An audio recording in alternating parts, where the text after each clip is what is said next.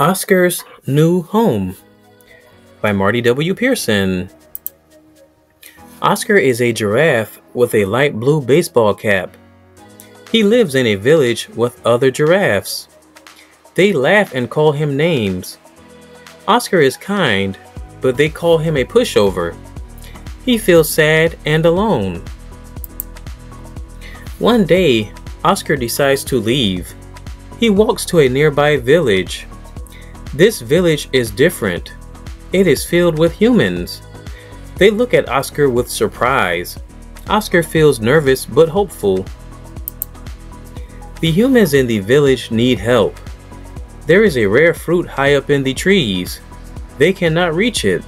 Oscar is tall and can help. He is unsure but wants to be kind.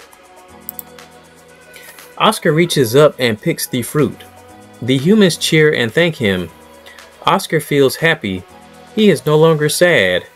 The humans are kind and grateful. They invite Oscar to stay. Oscar decides to stay in the village. The humans love and respect him. Oscar feels at home. He is happy and no longer lonely. He has found a place where he belongs. Oscar learns that it is important to be around people who respect and love you. He is no longer bullied. Oscar is happy and helps the humans every day. They are like family to him. Oscar's story teaches us to be kind and to stand up for ourselves. We should be with people who love and respect us. Oscar is happy in his new village and he knows he is valued.